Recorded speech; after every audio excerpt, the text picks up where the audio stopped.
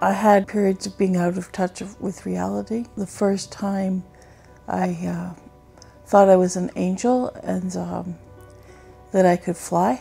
So obviously it was quite dangerous. Uh, I needed hospitalization.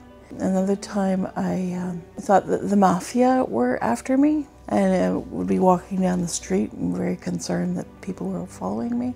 And another time I thought that it was World War III and there were snipers on top of buildings. It was very upsetting. At one point, I was in uh, a severe depression. I attempted suicide, so it was pretty severe.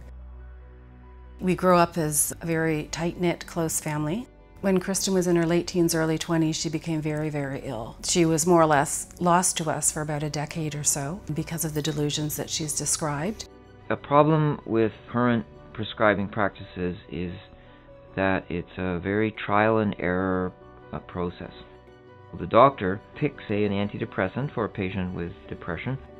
The problem is that each medication takes five to eight weeks to determine whether it's working in a patient or not. If the first medication does not work, then you, with medication number two, you have to go through another five to eight weeks with side effects that are unpredictable. Typically, 50% of the patients don't respond to the first antidepressant medication. That will delay the entire treatment plan. Is harmful to the doctor-patient relationship.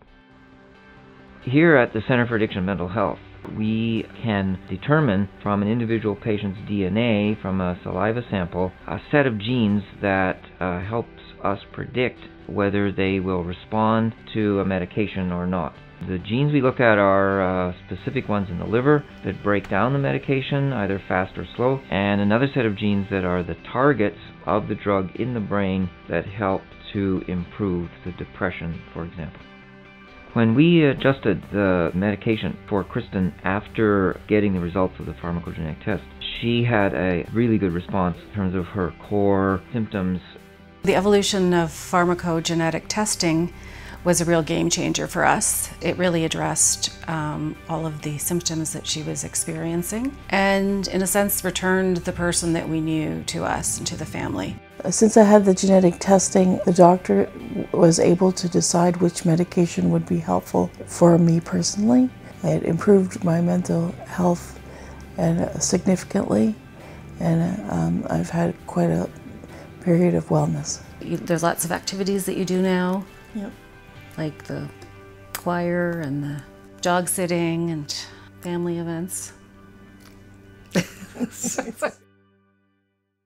Patients do not respond in the same way uh, to the same treatment. And now, if I know that the variability that causes these problems uh, in finding the right treatment is linked to the variability that we have in our DNAs, then I can try to match the two and optimize treatment because ultimately we're not treating populations, we're treating individuals.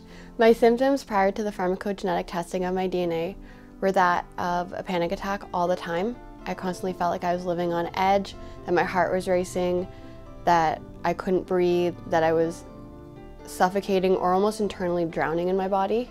Everything came back to eventually it's going to kill me, this is going to be the death of me if I don't act out these compulsions. I missed months of school.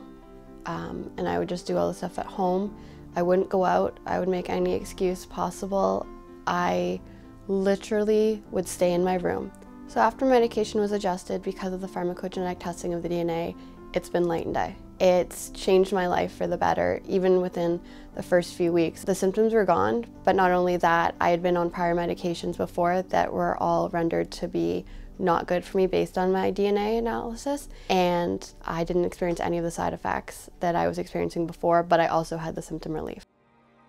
Pharmacogenetics is very user-friendly and applicable for the physician in their practices. Because the beauty is that a genetic test is easy to conduct. Nowadays, with saliva, in several hours, you could potentially get the results of the variation and include it in your treatment decision very much the same day. The way that we are using pharmacogenetics testing in our group practice is a revolutionary way of taking care of patients with mental illness. The way the test comes back is like a stoplight, green, yellow, and red. Green being medicines that you can take, yellow being medicines that you should be cautious about, and red being medicines that you should try to avoid because you're more than likely going to have some trouble with them metabolizing the medicine.